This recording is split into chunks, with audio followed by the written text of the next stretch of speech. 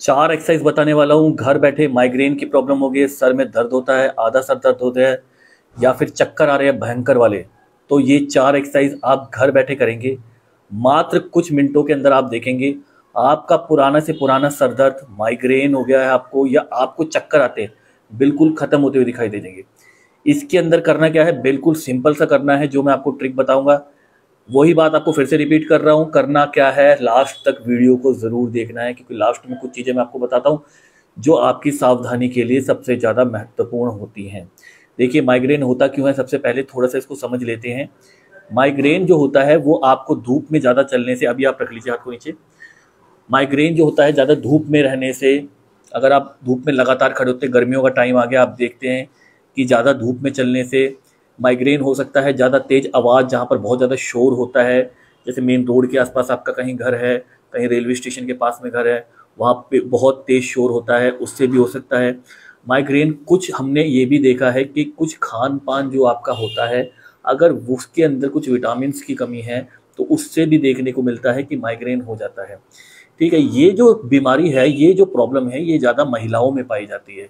महिलाओं में इसलिए पाई जाती है क्योंकि वो ज़्यादा सेंसिटिव होती हैं, ज़्यादा इमोशनल होती हैं, जिसकी वजह से उनको माइग्रेन ज़्यादा होता है। माइग्रेन होने से चश्मा भी लगता है, ये भी ध्यान रखिए। कोई ज़रूरी नहीं है कि चश्मा आपको बिना माइग्रेन के लगे। माइग्रेन होने के बाद भी हमने देखा है कि चश्मा लगता है। चलिए, अब आ जाते हैं हम अपने काम की बात पे। सबसे पहली एक्सरसाइज मैं आपको बता रहा हूँ, दोनों हाथों को उठाएँगे, नाक के दोनों बिल्कुल कोनों पे रख लेंगे, यहाँ पर। यहाँ देखो हाथ को हिलाना नहीं है। कभी आप क्लॉक वाइज इंटर वो एंटी क्लॉक वाइज करने लग जाओ, ऐसा नहीं करना, ये ध्यान रखना है, ठीक है ना? सिर्फ़ वहाँ दबाना है। कुछ पॉइंट है वहाँ पर जो आपके नाक के रास्ते से आपके सर में जाते हैं, ठीक है? जो माइग्रेन में आपको राहत दिलाते हैं। कितनी बारी करना है? तीस सेकेंड यहाँ पर होल्ड करना है। कितने बार करेंगे? पाँच बारी करेंगे। पाँच बारी करके ये आपकी एक्सरसाइज यहाँ पर कंप्लीट हो जाती है। फिर आप हाथ को नीचे रख लें, क्योंकि इतनी देर करने में आपका हाथ जो है दर्द होगा। दूसरी एक्सरसाइज दोनों हाथों को उठाएँगे, यहाँ पर रख देंगे।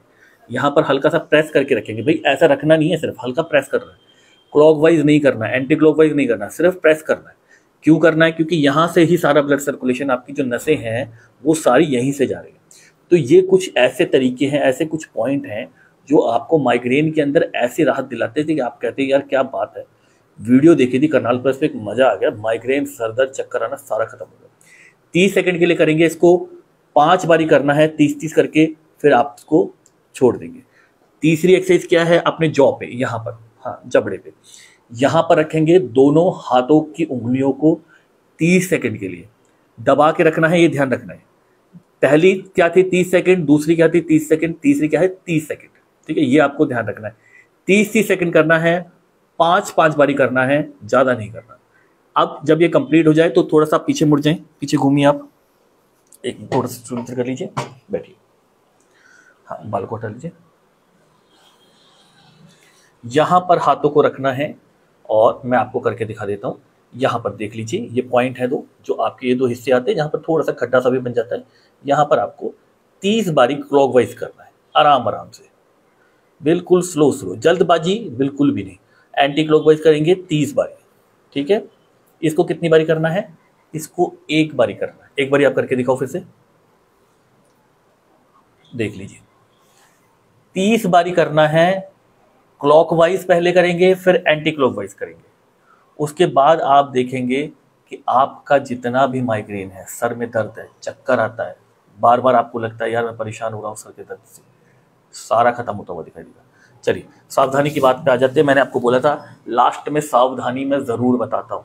तो सावधानी इसके अंदर जो है आपको जो रखनी है, वो सबसे मेन सावधानी आपको रखनी है। इस टाइम पे ठंडा पानी अवॉइड करें। गर्मियों का टाइम आ गया है। लोग बस क्या कोशिश करते हैं कि ठंडा पानी ज़्यादा से ज़्यादा पिए, कुछ नींबू पानी बना लिया, कुछ ये चीज़ें अभी फ़िलहाल के लिए अवॉइड करें। ज़्यादा तेज़ शोर हो रहा है, ज़्यादा कहीं पर गाड़ियाँ आ रही जा रही हैं, वो अवॉइड करें। ज़्यादा धूप में आना जाना अवॉइड करें। ये सावधानियाँ आपने बरतनी है साथ में इसके। ठीक है? मेरा नाम नीरज कुमार है, मैं एक न्यूरोथेरेपिस्ट हूँ नई दिल्ली में। अगर आप मेरे से बात करना चाहते हैं, मेरे से मिलना चाहते हैं तो दिए हुए नंबरों पर आप मेरे से कॉन्टैक्ट कर सकते हैं, मेरे से मिल सकते हैं। आशा करता हूँ आपको मेरी बात समझ में आई होगी। आज के लिए इतना ही। नमस्कार।